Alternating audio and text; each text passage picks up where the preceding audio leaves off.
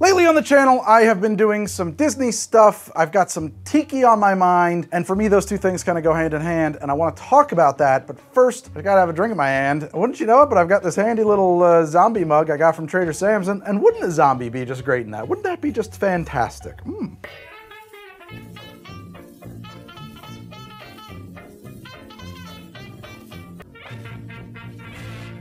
I'm gonna make a zombie as close to the original 1934 version invented by Donn Beach as I possibly can. And then I'm gonna tell you a story about Disney, me, and Tiki, and my grandparents. Let's start with three quarters of an ounce of lime juice, three quarters of an ounce of fresh lime juice, half an ounce of falernum, John D. Taylor's Velvet Falernum, one half an ounce. It's like a rum-based liqueur. Now we're getting into the part of this drink where you find out why Donn Beach was famous for only allowing you to order two. And honestly, I think letting someone order two is a bit insane. We're gonna need an ounce and a half of a light rum. This cork just fell apart. That's fun. We're gonna have an ounce and a half of rum. This is Probitas. It's probably my favorite rum for daiquiris right now. I think it sells in other countries under the name Veritas. We need an ounce and a half of a Jamaican rum, something with some funk.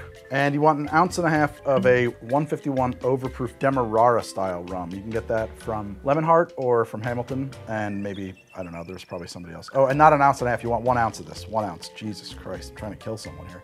A teaspoon of grenadine. Officially, I don't know what a teaspoon is. Like a quarter of an ounce or something slightly more than covering the bottom of my jigger. That feels about right. That's about a teaspoon.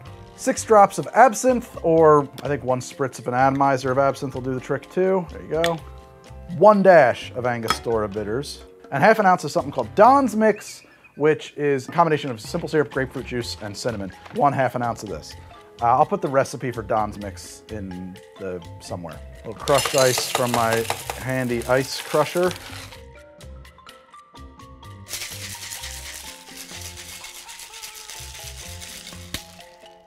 And I'm gonna pour it into there. What a photogenic mug that is. I love this sucker. Throw a little mint in there and uh, off to Zombie Town. That is what I needed. Oh, Lord. It's a glass of vacation. Oh my God, that's dangerously good. The thing about these early tiki drinks that a lot of people may not realize is that like, they liked rum. They liked things that tasted like rum. They didn't want to hide the rum. They wanted to do a big, bold set of flavors around it that lifted it up, and that's what you got here. And oh, what a thing this is. I mean, it's got some heat. It's got some funk and hogo. There's of course little notes of grapefruit, not very loud. The cinnamon is quite present in my particular mix here. I find like there's a beat there of toasted marshmallows without being a toasted marshmallow drink. It doesn't taste like a s'more. It's just a dangerous good time. A dangerous good time, unless you hate rum, in which case you might want something that's a lot sweeter and less spirit forward. I do want to stop here though and let you know that this episode is brought to you by you, the patrons on my Patreon. Thank you so much for your continued support of the show. I really hope that I am giving you everything that you signed up for. So thank you from the bottom of my heart. And for the rest of you, if you love this show, if you want me to keep making this show, and if you want me to be able to say no to sponsors from time to time, please take a look at my Patreon. You know, over there, you're gonna find episodes of How to Drink Without Commercials. You're gonna find exclusive behind the scenes things, updates about what's going on here. There is uh, outtakes from some episodes, sometimes things that don't make the cut. Like this episode, very likely will have a whole episode of outtakes. Uh, there's a private Discord server, which has an amazing community, just great people all having a very nice time hanging out and talking about everything, including cocktails, but just whatever. I'm in there, usually uh, asking for advice about what episodes I should be making and sharing insights about what it's like to work on something like this and make a living at it. So if you love the show and you would like to do something to make it possible to continue, take a look at my Patreon and see if I've got anything over there that's of interest to you. And thank you for those of you who are patrons of the show. Thank you deeply from the bottom of my heart. Hubba dubba. Hubba dubba. I think that might be my new tiki toast. Hubba dubba. So let me paint you a picture. I think it's 1988, 1989. I'm eight years old. That's the main thing. I'm eight years old. It's summer. I'm outside on the front lawn, or maybe I was on the porch. I'm outside because I vividly recall watching my grandparents pull up in their motorhome. And my grandmother opened up the window and said, Hey, who wants to go to Florida? And I asked, Hey, can we go to Disney World? And they looked at each other and they kind of shrugged and said, Sure, why not? So I went and I packed a bag because who the hell would say no to that? Um, maybe you, though. There are probably some things about my grandparents in this motorhome that I should clarify so that you understand what it was that I was agreeing to. So here's who my grandparents are. My grandmother a burlesque dancer. She used to perform under the name of Frenchy Faray. And yes, for those of you who are wondering, I have seen some wildly inappropriate photographs of my grandmother. my grandfather was a linguist. He had a doctorate in linguistics, uh, actually, while he was doing his dissertation at Yale, apparently, on his GI grant. He was roomed in a Quonset hut. He was roommates with Noam Chomsky. My grandfather went on to do some work for, I think, the CIA, but certainly the NSA. You know, he was pretty cagey, but he didn't tell, obviously.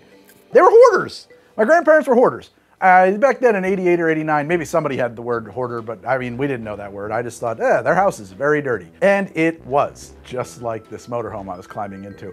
There were papers everywhere in the house, everywhere. There was broken typewriters. There was dead plants. There was, uh, my grandfather had a, a study that had like kind of fallen in on itself. There were filing cabinets toppled over. I remember he had like a bust of Beethoven. Dudes used to have busts. What's that about? It was as bad a hoarding situation as you can possibly imagine. There was a sticky film on every surface.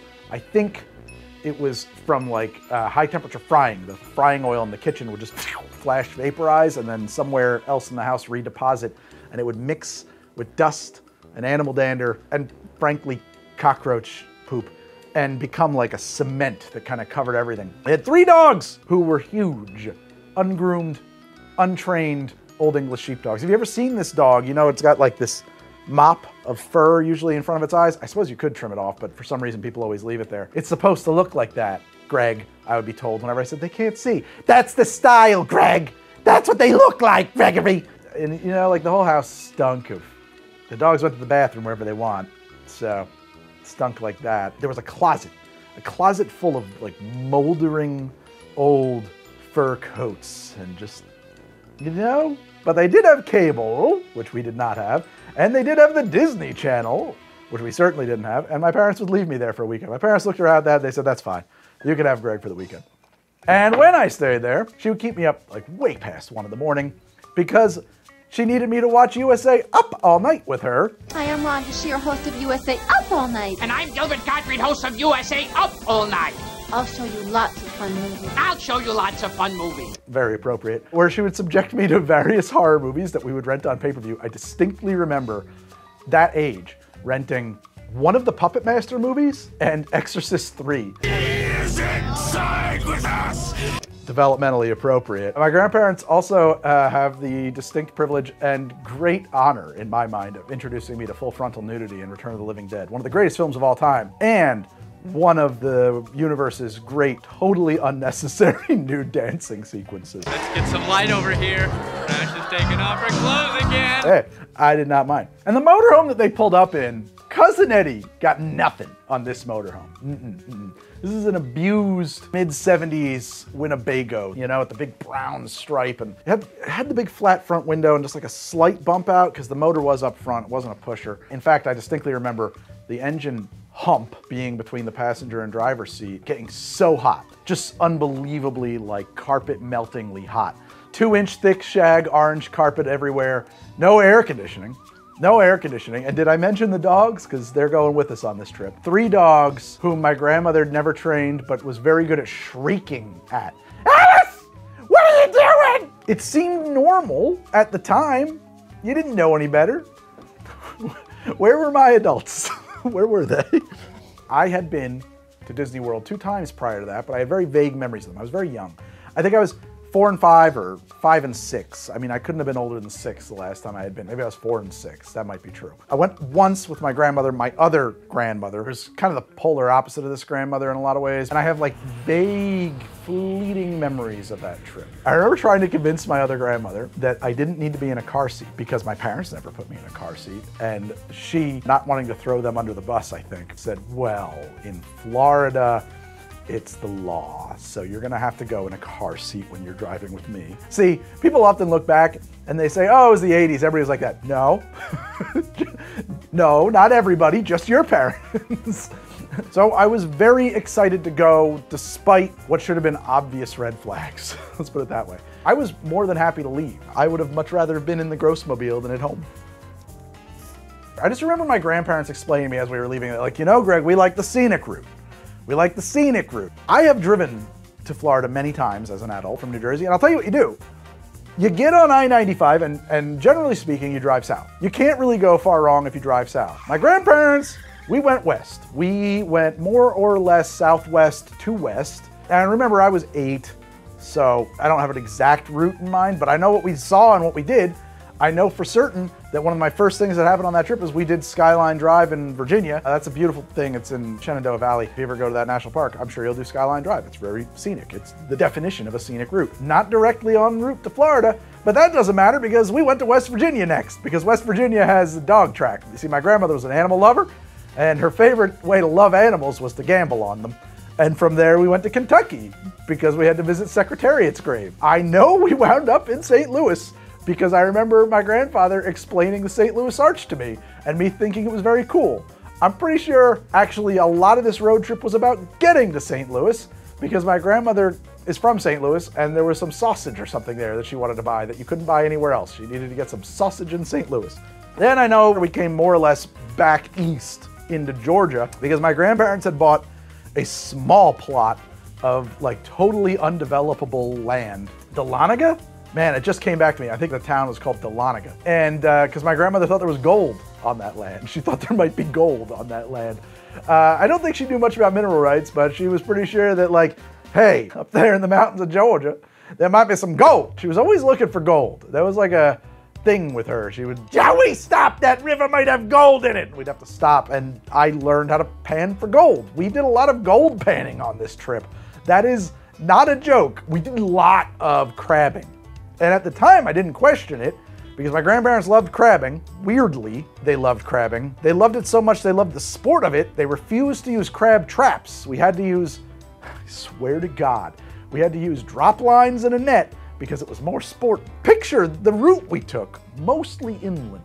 I'm pretty sure they had us crabbing in like swamps. Like I think it was just there was nothing else to do. We would go crab in a swamp, crabbing and panning for gold. We are looking for things that aren't there today. My grandfather had diabetes and he was very bad at managing it. And so while driving, he was regularly like nodding off because his blood sugar was a mess. And the RV would just weave all over the highway. It was a disaster. Sitting up in the passenger seat, and I went to open my window. These things were like house windows, you know, you slid them forward or back. They were like kind of like sliding doors. And so I'm sliding forward, and my grandfather must have dozed off. And he suddenly jolts awake, probably screamed at by my grandmother, Joey!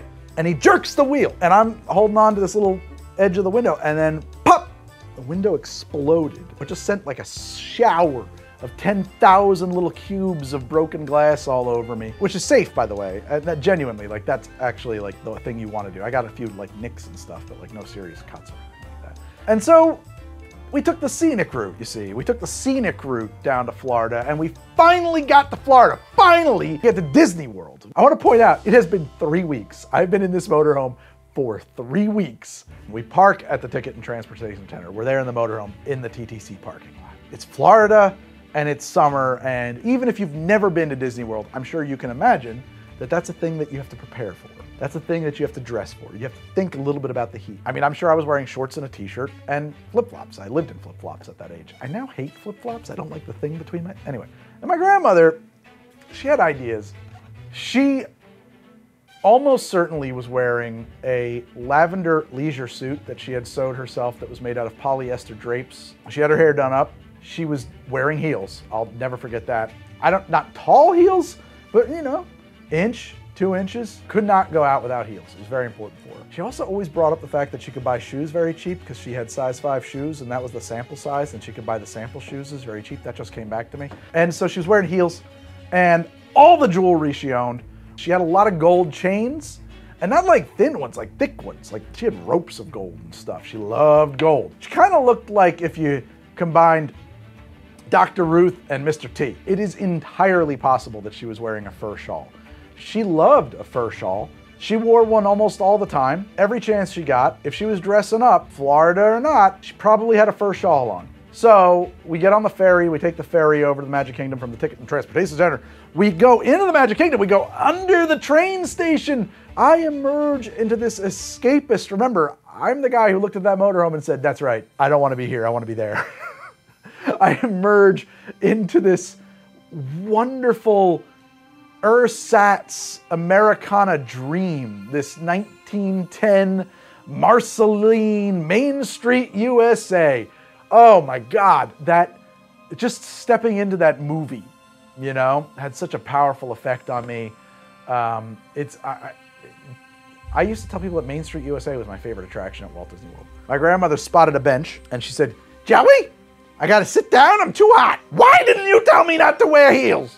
So she sits down on the bench and we're standing around. And my grandfather says, Hey, you know, if you wanna take a rest, why don't I take Greg on a couple of rides and we will come back and you'll be rested and we'll figure out what to do from there. Great idea, go! This is fantastic in my opinion. First thing we ride is Mission to Mars. From there, we cross the park back to Pirates of the Caribbean. I remember distinctly my grandfather was hot, you know, and he was just this kind of guy. He was like reaching out of the boat and splashing the water onto him and me. And I was like, Papa, you can't, you can't put your hand outside the ride vehicle. You can't scoop up the water like that. I can do whatever I want, which was a thing he said a lot. Ride Pirates of the Caribbean, we get out, and right across the way there is the Enchanted Tiki Room. And we did the Enchanted Tiki Room. And that might be my earliest available memory of the Enchanted Tiki Room, which is going to matter in a minute. Then, my grandfather said, You know, we should probably check in on your grandmother. Sure, sounds like a good idea to me. I'm eight. I have no concept of time. All I know is that we just did three rides. That's like nothing. It's been, what, five minutes? We get back to Main Street, USA, find my grandmother apoplectic. She is shrieking at the top of her lungs, out of her mind, red in the face, nuts. You abandoned me to die! Lost it completely. Every, the foulest, the language coming out of her mouth. Also, I forgot to mention this. She had had a couple of girly beers that morning. Girly beers, that's what she called a Coors Light. She would call those a girly beer. I think it's because in the 70s, there was like a thing with 3.5% beer because it was like a tax loophole. She thought that light beer was a continuation of that 3.5% thing and that that was girly beer. so she drank a lot of girly beers and a lot of blackberry brandy. She was very angry, shrieking, losing her mind. We had tried to kill her. We had tried to abandon her in the heat in Florida. No one told her not to wear heels or a fur shawl. Enough is enough. What you've done to me is unforgivable. We're leaving. And we did. I did three rides at the Magic Kingdom and they're dragging me, dragging me. Dude, I'm sure tears must have been streaming down my face. I'm sure I was begging them to turn around. I was pleading with them. I'm sure I couldn't believe what was happening. I'm sure I must have said, well, obviously we're coming back tomorrow. This was just a taste. This was just a taste test, a little sample. I get it an appetizer. You can't sit down for the whole meal. You gotta have the, jalapeno poppers or some some nachos or something. We'll have the meal tomorrow. We're not coming back tomorrow. We did not come back. We did not go back to the Magic Kingdom. We did not do anything else at Walt Disney World. In fact, I don't know what else we did on that trip. As limited as my memory is of the way down, my memory of the way home is a void. I think it was a very joyless drive back to New Jersey, and I think we went straight back to New Jersey. In fact, I would venture to say we did not take the scenic room home. I think that experience left a kind of Disney shaped hole in my heart. And with a Tiki note, right? Like Tiki and Disney for me to go together a lot because like the Tiki room, that was the last thing I did there. And then I was ripped away by my grandmother's gnarled hands and long fingernails. Jewel encrusted hands. She wore so many rings. I didn't get to go back for another, at least a decade, back to Disney World. But God, I wanted to so badly every day. Not a day went by that I did not wish fucking hell I was at Disney World. I had friends who would go back every year. That wasn't me. Uh, you know what I had? Back in the day, there used to be commercials on television, a Visit Disney World, and if you call this number, we'll send you a free Disney trip planning VHS. So I would call that number, it was free, I could get that, and they would send you this wonderful 45 minute, sometimes longer, VHS of just the most beautiful, mouth watering park cinematography. Oh my God, S- slight slow motion, just huge, beautiful golden hour, blown out backgrounds. This nice creamy bokeh with a shallow depth of field and these happy smiling people. They were all having so much fun. Just turbo powered hyper nostalgia. Oh my God. I could have fallen into those tapes. I watched them so much. That was my way to go to Disney World. And so I, I have this question, right? Like, am I a Disney adult? Because I know the internet, the world seems to hate Disney adults. The world seems to hate people who are grown-ups that spend their money on the things that they like. I don't get it, but I recognize that it's true. Am I amongst their ranks? Oh, I am. I am. Because now that I'm a grown-up, and I have a little bit of grown-up money, believe me, I wish I had a little bit more grown-up money. I get to go to Disney World whenever I want, or more accurately, whenever I can afford to, and I do. Dag nabbit. Whew. I told myself I wasn't going to finish this, and then I did. I love the stagecraft of it. I love walking into a dream. I love themed environments. I love tiki rooms. I love tiki bars. Before I ever had a tiki drink, I loved tiki rooms. I've wanted a tiki room. I wanted my parents to let me take my bedroom and turn it into a thatched hut with tiki things in it, and oh, they did not. That experience, that very formative, defining core memory, that character building experience, which is the term we use for the psychological damage that our parents and grandparents foist upon us when we are childs. I don't really have a button for all of this. I don't have like a really good like hard out like zinger to land on. I just that's I think that's why I love Disney World and tiki things, and I think that's why those things go hand in hand for me. And as a result of that, I want to let you know that I think next week I'm going to be reviewing all of the drinks at Trader Sam's Grog Grotto at Disney World. I hope you've enjoyed this uh, journey into my childhood. Believe me, there's a lot more to tell.